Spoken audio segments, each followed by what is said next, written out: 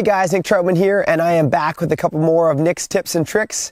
And thank you guys for all your messages and comments because I've been reading them and trying to figure out what you guys want to learn next. Um, and I've been getting a whole bunch of messages about how to teach your kids to kayak. So we're going to do a quick little mini series on uh, tips and tricks for teaching your kids to kayak.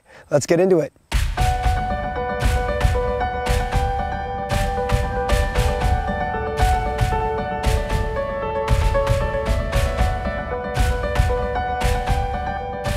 Okay, so step one with teaching your kids to kayak, and probably the most important thing, and this goes beyond whether it's kayaking or skateboarding or skiing or math or whatever it is, um, and that is making it fun for your kids and making sure they're comfortable doing it. So, with kayaking, a big part of that for us was first um, getting our kids comfortable with the water.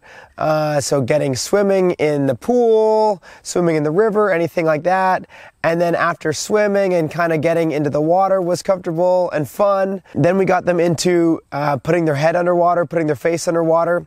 This was a little bit of a, a barrier for us at first with my son Tucker.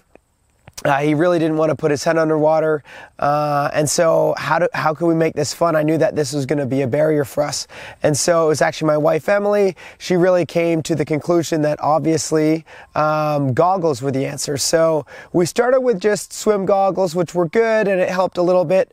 Um, but it wasn't until we started using the scuba goggles that go over the the eyes and the nose that we started getting um, major results. Once uh, there was no worry about getting water up your nose and that he could still see underwater. Then there was huge improvement with just comfort of being in the water, being in the pool, starting to kind of do flips in the water and stuff like that. And there was obviously lots of fun going on too. So uh, the goggles were a huge uh, step for us in making it fun and um, bringing a lot of comfort to being in the water itself. The biggest pointer I have for getting kids into kayaking is really to make sure that you're not overwhelming them with the mountain of the goals of what you're trying to accomplish with them in the kayak. And the way or the reasoning that I'm saying that is because when you tell your kid, hey, we're going to learn how to roll. Um, that sounds like a daunting task, and as a small child, you've already made it intimidating and a lot harder than it needs to be. But if you tell them we're going to have a lot of fun in the pool, let's go work on our forward strokes or let's goof around, the kids are always game to do that. So, first step I would say is whatever your goal is, whatever the motivating factor is behind teaching your kids how to kayak, just remember that. You want your kids to have fun on the water. So, step one is always make sure what will be fun for the kids. Uh, for my son, it's swimming around with goggles. For my daughter, it's just being in the water. So, by encouraging them to do more of that and then introducing the kayak and the paddle, it really gets them excited about the concept of going kayaking. Okay, so step two, which is pretty similar, but is to remember that this is supposed to be fun and not scary. Uh, so make sure that whatever you do, whether it's flipping over and doing a wet exit, whether it's just sitting them on your lap and running down the river, um, it's supposed to be fun and not scary. Your whole job is to make sure that this is not scary because you want to create uh, little paddlers out of your kids. You want your kids to become paddlers themselves in the future.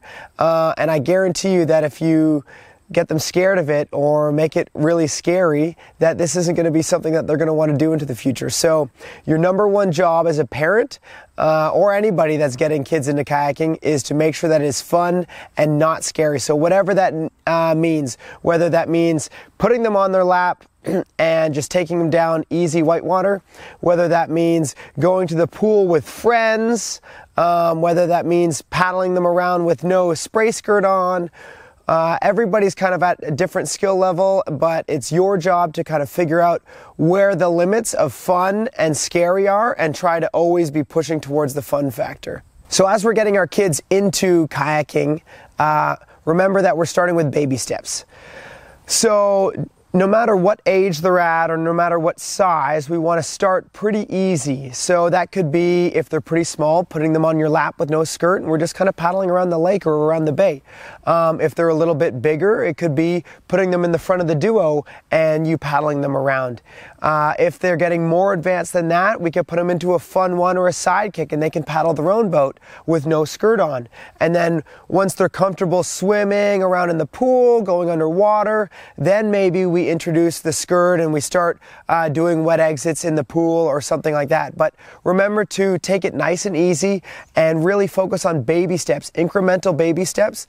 And really, the whole goal here is just to not scare the kids from the river experience and to make the whole thing fun. So if it takes a while, it could take two years before we start introducing skirts. Uh, I mean, Tucker's six. He's we started him uh, when he was one years old or just under one years old, and it wasn't until this year, this summer, on his sixth birthday, that we even started thinking about putting the skirt on kayaks um, and and working on the wet exit with him. So really, don't worry about a timeline. Uh, really, just focus on making sure the whole thing is a fun experience and baby steps and incremental steps along the way. Something that I learned as a parent again was that what I think is cool about the whole river run experience um, or the whole kayaking experience might be totally different for what my kids uh, think is cool or fun. So for me, it was about running rapids and about surfing waves and just the things that I think is cool. Um, and it took me a little bit to figure out that for my kids, especially when they're younger, it's a lot less to do with the rapids and it's more about the adventure. It's more about uh, finding frogs, uh, seeing fish jump, birds and ducks that fly by. Whatever it is, just try to make it always a plus, always a positive experience. So whether it's warmth, whether it's snacks, whether it's hydration, um, whether it's getting splashed in the face, whether it's the put in or take out, the, uh, the shuttle to and from the river, who you're with, try to go about all the different things that really make the whole experience a positive, uh, so that the kids walk away thinking, "Oh, I really like that uh, that river adventure that we were on," because for them, that's really what it is. It's a river adventure, um, and yeah, we want to make it a positive. As many positive experiences as we as we can, because the more you get that momentum, and then they want to do more and more and more, and um, as we know, the more that they do it, the better they're going to get, the more that they get to spend time with you, which is really the end all and be all, and that's the positive that we want to be sharing. Well, guys, I hope this tip helps you get your kids into kayaking. I'd love to see more kids out there paddling, and uh, please let me know if it worked for you, send some photos of you and your kids out on the water. And if there's any other tips or tricks that you guys would like to see, I definitely am super into uh, reading your comments. Uh, so feel free to comment below, like and share it, and let's get some more kids out there paddling.